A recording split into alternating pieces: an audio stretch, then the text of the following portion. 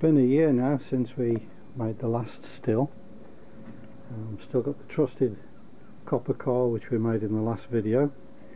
Um, but we've acquired a free pressure cooker and this is an old tower pressure cooker.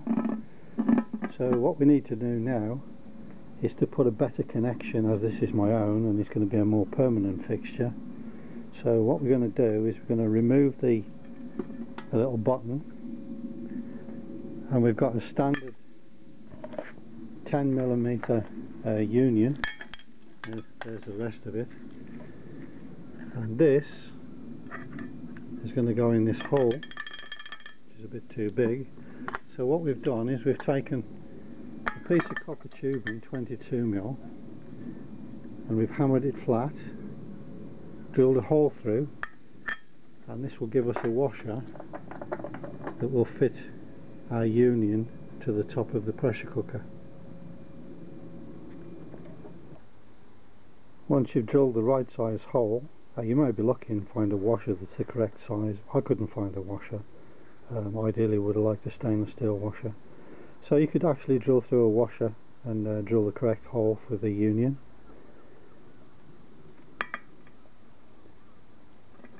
And around the threaded part we're going to add some PTFE tape. As you can see we're getting plenty of help from Spud. Our Bultalia puppy.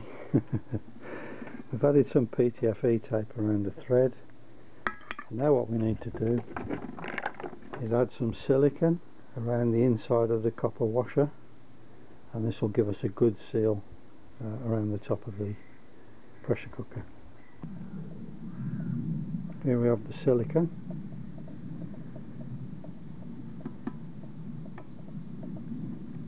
that should give us a nice seal.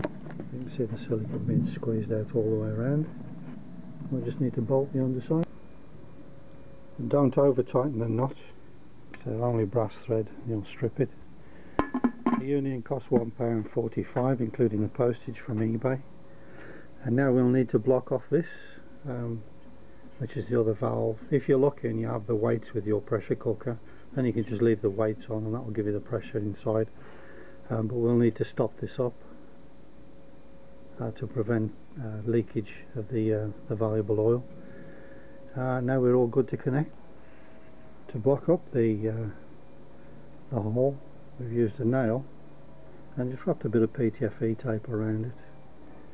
That should fit snugly into the hole.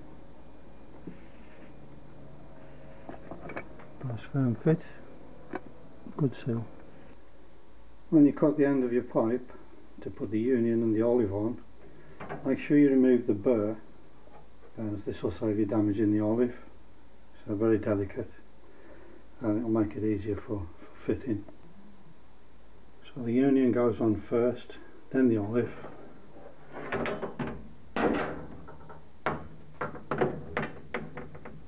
So I've now sealed the um, the weight hole with a nail and PTFE tape from the inside. So the head of the nail acts as a seal. And we've fitted the uh, the union it's a little bit difficult just to get this in line. But much better and more secure union than uh, the last one we did with the, uh, the hose pipe again the coil is in a bowl full of cold water to cool the cold coil down. People have asked in the in the last video if it's okay to use plastic pipe. Well no it's not because you need the heat transfer from the copper pipe to the water to actually cool the uh, the steam inside into a liquid so that the um, the oil comes out at the end. If you use plastic you'll probably be getting steam spurting out the end because it's not cooling enough You'll then need to tighten the, uh, the union with spanners, but, but don't over tighten these. Um, uh, don't really, really need to be very tight at all. And you can always go back and pinch them up a little bit if you get a little bit of steam um, seeping out. So if you over tighten these unions, you can uh, damage the uh, the olive, the seal. Second lavender harvest is underway. Using a normal bin with a bin liner. I'll just start by nipping off all the heads let the heads fall on the floor and pick them up. So quite a bumper crop this year. The bees have all had their fill. Now the lavender's in seed.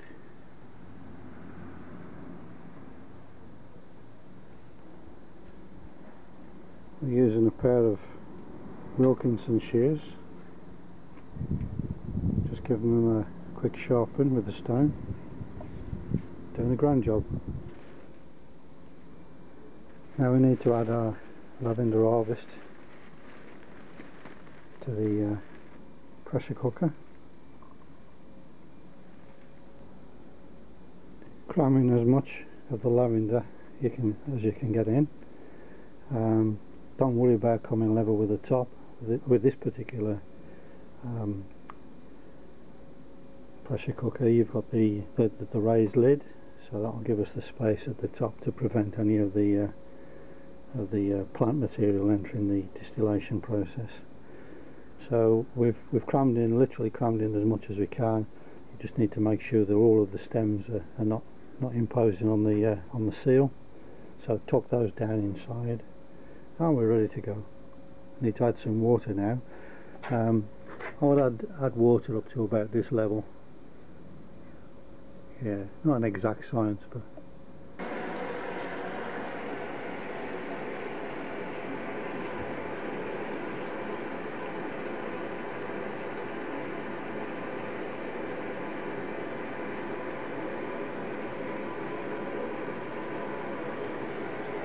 There we go. Just come up to that level there. Using a cast iron drain cover, um, nice and clean obviously, or any kind of weight, metal weight, I'm just putting that inside the uh, the pressure cooker and that will keep the plant material down. Another great idea.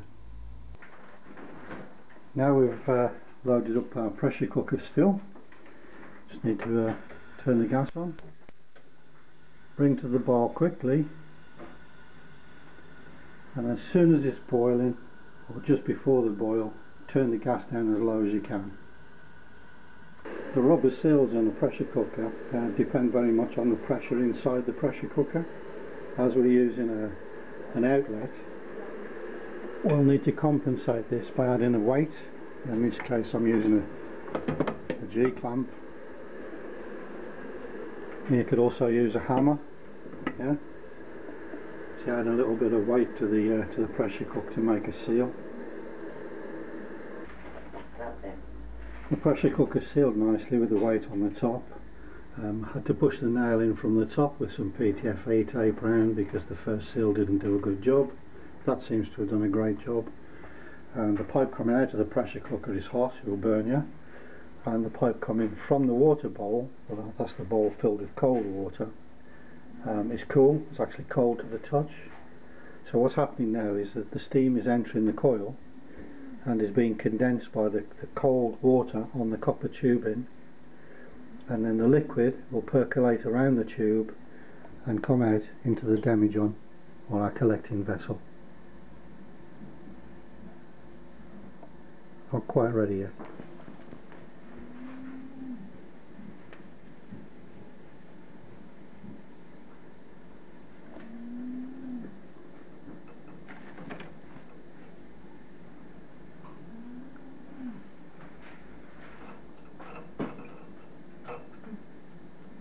So the hydrosol now. And you can actually see the oil in the bottom of the, uh, the collecting vessel or in this case the demijohn.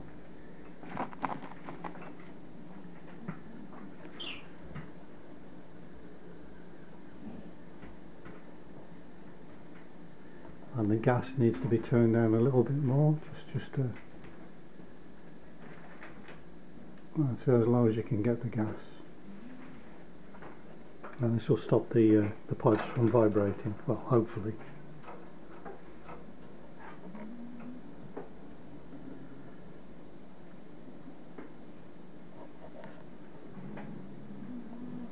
and we should have a good yield this year yeah, Spud's come to check out the uh, the distillation process. He's become somewhat an expert.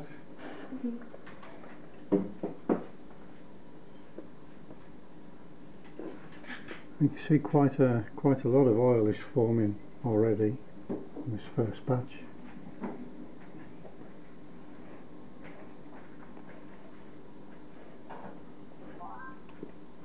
So it seems to be working well.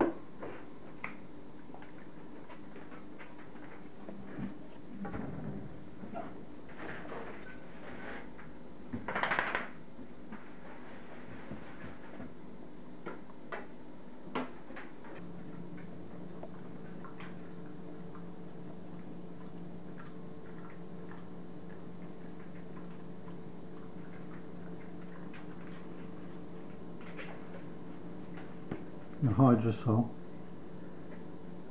from the distillation process can be used. So don't throw this away. This is the water that the uh, will be removing from the oil later. Um, makes a very good addition to your washing uh, washing liquid. It's also very good for washing dogs bedding so discourages um, the parasites. So very, very useful stuff.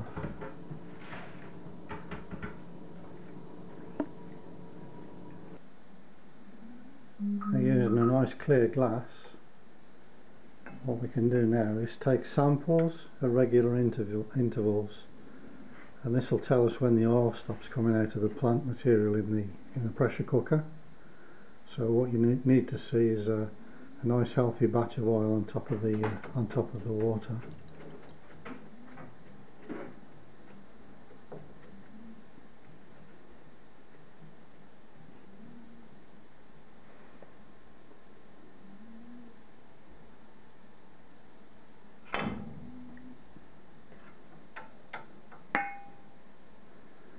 and you can see the uh, the oil on the surface of the water.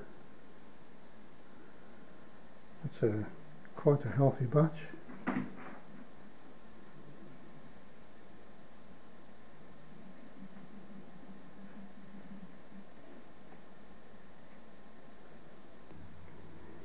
It is really important to keep the water in the bowl cold or cool.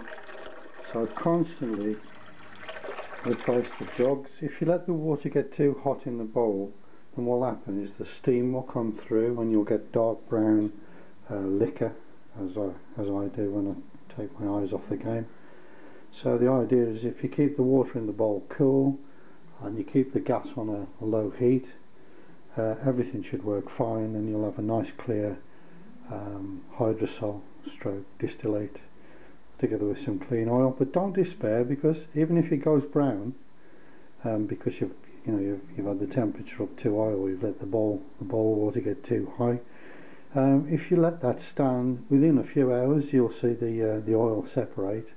And if you leave it stand for quite a few days um, you'll see that the liquid will go clear again. To remove most of the hydrosol and save the oil and this batch where we've, we've actually got some oxidized plant material which don't worry about it will settle out. Um, we use a piece of tube and we'll siphon out the water the hydrosol into another container and that'll concentrate the oil which we'll then pour into the clean hydrosol uh, so that it'll settle out with the rest. We need to suck out the uh, the water from underneath the oil to concentrate the oil and this will enable us to put the next batch into the same bottle.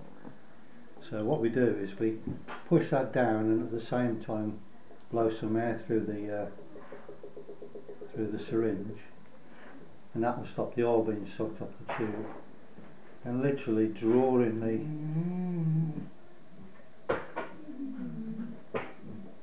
the water from underneath the oil. So when you pull it out you need to turn it around repeat and rinse. So we'll just start again. Again, put a little bit of air in. So you just blow through as you're pushing the tube in.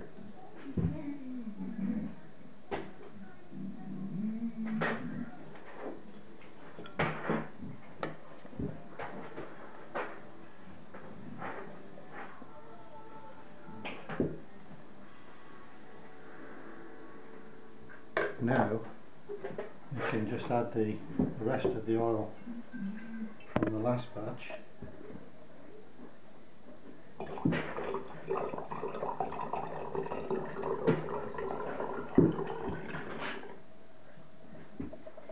and wash this round inside.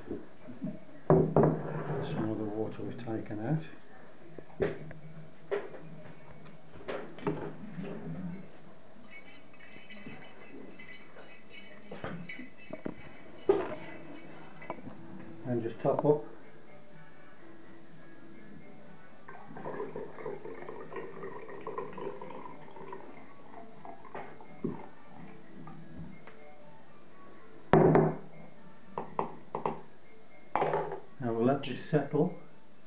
and we should have a nice batch of oil on top of the narrow, narrow bottle and then we can measure how much we've got in the syringe. This is the yield that we have which seems to be a little bit more than we had last year or quite a bit more actually which makes sense because there's more of the uh, of the lavender outside now. As you can see we, we've let it set, let it settle a little bit but needs to be settled for about two or three days, probably even longer to become crystal clear.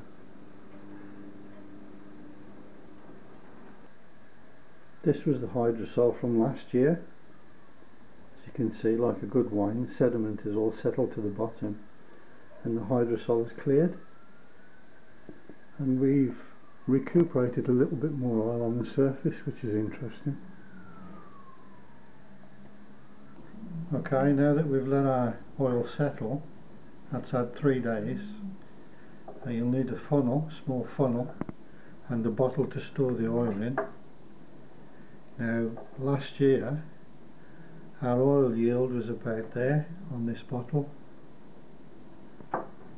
So using a syringe and a piece of tubing that we've fitted, we can draw up the oil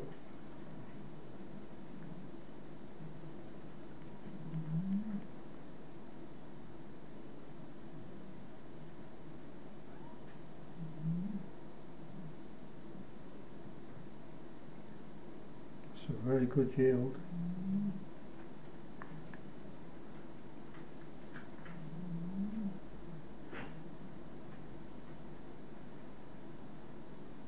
We'll stop there.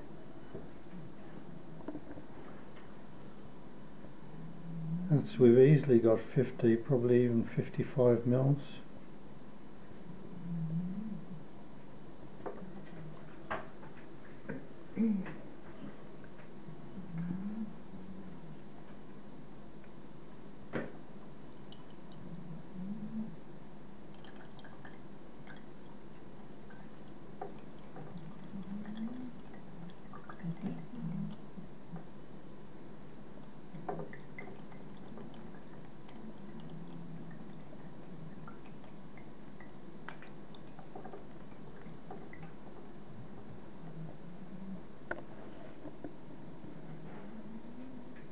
So we've passed last year's yield mark and we still have oil to collect from the bottle. So we'll have another go now.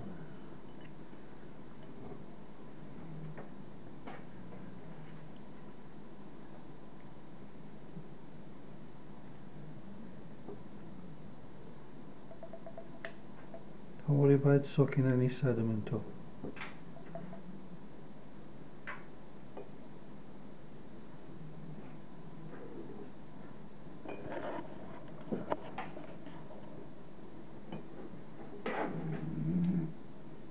This can also be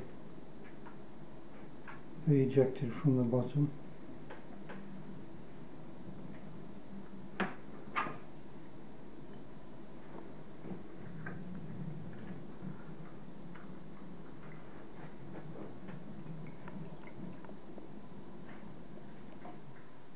And we still have some more oil to, to remove from the top of there.